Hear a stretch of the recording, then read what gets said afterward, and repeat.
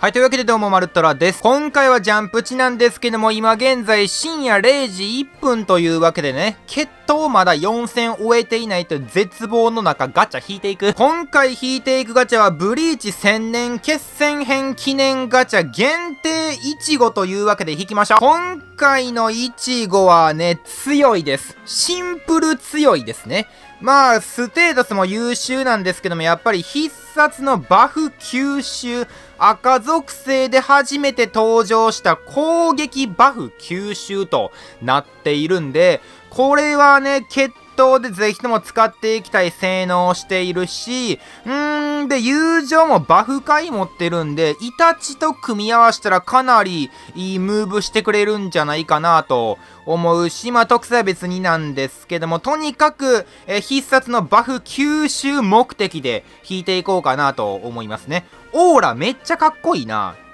まがまがしいオーラしてますね。はい、早速、え引いていくんですけども、え今現在、まあ、冒頭にも言った通り、えー、深夜0時、今現在3分となっております。はい。まあね、皆々様はもう寝静まった頃になってるんじゃないかなと思うんですけども、私は大声出していくフォロー化したところでやっていくんですけども、いやー、出てくれませんかねここで何連で抜くかによって、アイゼンに回せるルビーがね、違ってくるんですよ。お願いなるほど。えー、僕、このブリーチ大特集祭期間中に、えー、課金しません。はい。まあ、それなぜかっていうと、まあね、あのー、後日、えー、サブちゃんの実写チャンネルの方で、まあ、答えがわかるんですけどもね。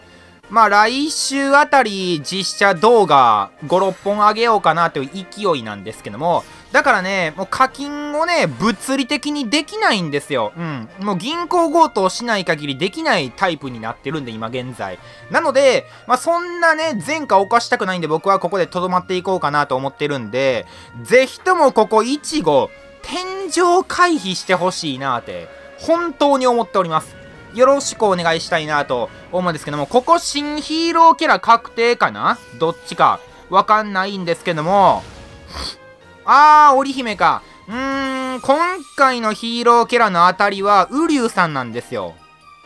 なので、織姫が被んのがいっちゃあかんのですよね、このガチャにとって。いちごが出えへんよりも、織姫がかあの被るのが一番あかん。織姫めっちゃ弱いんで今回、ウリュウさんめっちゃ被ってほしいなという気持ちがでかいんですけども、まずは確定分じゃないところで出てくれこれ感謝なんですけども、お願いしますわ。本当にお願いしたい。